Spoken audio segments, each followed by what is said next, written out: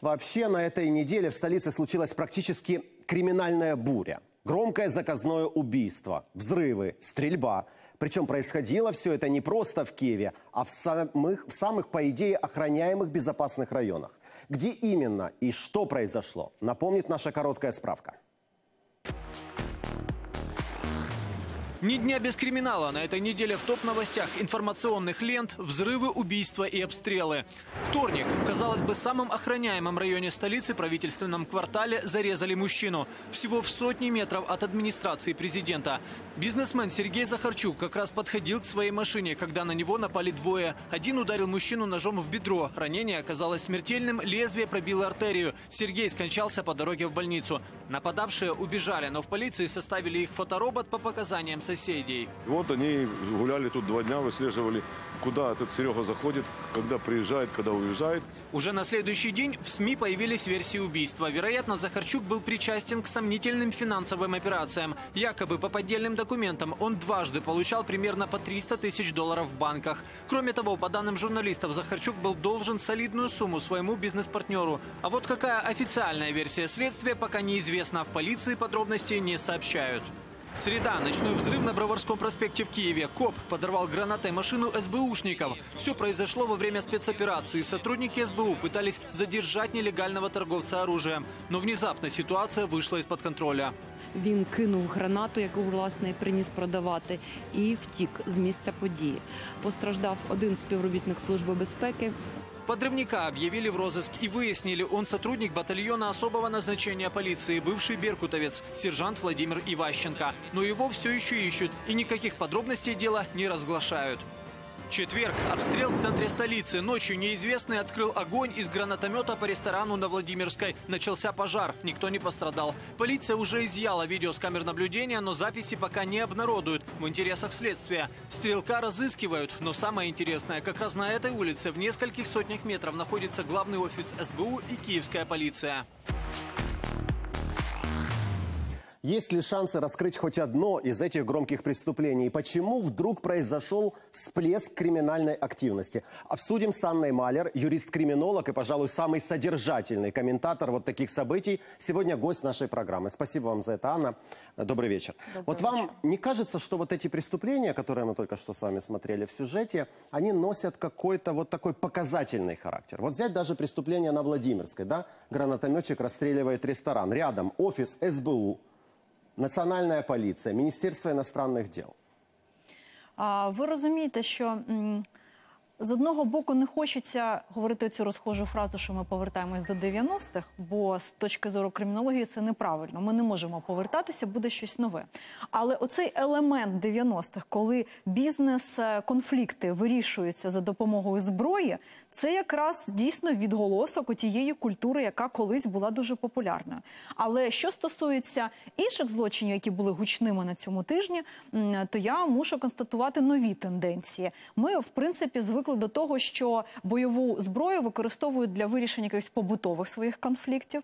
Але ми зараз з вами бачили, що а, зброя стає інструментом злочину, і можливо, ми говоримо зараз про якісь серйозні канали збуту кажется, мы с зброї. вами заметили одни и те же тенденции. Вы не о взрыве гранат случайно говорите. Вот Так. два, два показательных случая Так. мне тоже бросились в глаза. В Днепре преступники э, брос- забросали грас- э, гранатами нацполицию, и на этой неделе в Киеве, да, торговцы оружием отбивались от СБУшников Так. тоже с применением э, Тобто ми взрывчатки. говоримо не просто е, хтось когось ревнував і кинув гранату, бо він її зато привіз. А ми говоримо про серйозний бізнес, який, я перепрошую, робиться на крові, робиться на війні. Якщо немає війни, цей бізнес практично не може функціонувати. І виходить, що у нас очевидно, ми побачимо, чи доведе СБУ це розслідування до кінця. Очевидно, є якісь дуже серйозні канали збуту зброї. І я не думаю, що це самодіяльність е, затриманого, а його ще не затримали, він втік, сержанта. Е, Очевидно, там може е, викритися дуже так, або потужна організація да, всього цього процесу. Е, Хтось це приховує, і це очевидно в верхах роблять. Да? Хтось повинен прикривати тили юридично, і хтось на цьому наживається. Я не думаю, що головний бенефіціар чи вигодонабувач у цьому якраз цей сержант, який втік. А, Вообще, как сегодняшнее задержание Рубана, оно, по-моему, ложится в тему нашего сегодняшнего разговора, да, того, что вы э, говорите. Как вы его можете прокомментировать? Е, Дуже Возможно, это один из тех каналов, которые поста- ну, Дуже основных каналов был. цікаве і показове затримання.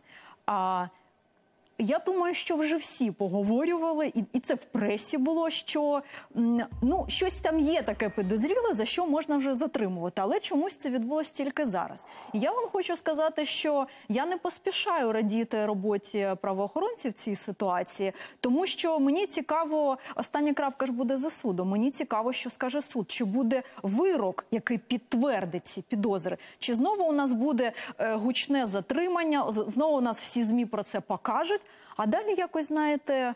Нічого Вот я, кстати, з об цього этом не у вас вийде. хотел спросить. Ну, ну вот смотрите, ну будем откровенны. У нас же полноценно расследовать, в принципе, по-моему, за последние годы ничего не смогли. Вот имеем кейс уже, да, таких историй. Огромные показательные взятки, то есть взятки огромные, аресты показательные. Имеем э, м, громкие убийства, к сожалению. Есть истории помельче, но там э, таких примеров очень много. Я вам могу привести пример израильского паспорта Рабиновича даже. Мы трубим об этом уже ну, более полугода. Депутаты даже обещают провести расследование, и даже там ничего не делается. В деле Рубана, вы бу- думаете, будет поставлена точка или снова сойдет на нет и забудут? Я можу припустити, що буде заважати розслідувати цю справу. Якщо ми припустимо, бо ми не можемо звинувачувати, що дійсно він займався от, значить, цим е, не- незаконним обігом зброї, то весь цей час, який про це говорили в пресі, хтось же це приховував, і я можу сказати кримінальним сленгом кришував. А? Значить, якщо Тобто був розслідувати соучасником так, якщо преступлення. розслідувати цю справу отак, от відверто, як це мусить бути, і якщо це все виявиться, то тоді потрібно що виявляти і тих осіб, які були співучасниками. А Я так розумію, що співучасники це не прості сержанти. Аня, теперь практический вопрос. Ну вот вы диагностировали ситуацию, да, очень грамотно, как всегда, профессионально. Но что с этим делать, это намного важнее вопрос. Какими должны быть шаги правоохранительных органов и власти в целом сегодня, чтобы не было такого разгула преступности, чтобы преступники не чувствовали себя так вольготно в Украине? Найперше, ми не можемо на сьогодні припинити війну, але ми можемо на сьогодні припинити оці потоки зброї, яка йде, до речі, в обидва боки, і з України, і в Україну. Це можна припинити. Але інше запитання: кому це вигідно? Та це нікому не вигідно, бо на цьому наживаються. Це бізнес. Так, значить, це перше, тому що коли з'являється велика кількість нелегальної зброї, вона для чого використовується? Вона використовується для вчинення злочину.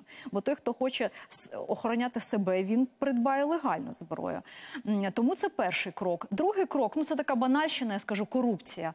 Але перепрошую, без цього нічого не буде. Тому що яке кримінальне провадження не відкривай, якось так воно все чіпляється, що потім це питання хтось якось за якісь гроші, за якісь послуги вирішує. І зрештою, ми з вами не бачимо вироків, ми не бачимо, щоб хтось там відбував реальне покарання. І я вам скажу більше, як було вироків по корупції, у нас приблизно тисяча за рік, плюс-мінус. Ми так з тими цифрами і залишились. Под- Подсуммирую словами, наверное, такими, что пиар без наказания, в общем-то, к улучшению нашей криминогенной атмосферы в стране не приводит. Аня, не зря я вас наж- назвал в самом начале нашего разговора самым содержательным экспертом. Вы Дякую. своими ответами это в очередной раз мне подтвердили. Спасибо Дякую. огромное. Анна Малер, Дякую. юрист-криминалог, была гостьей программы «Подробности недели».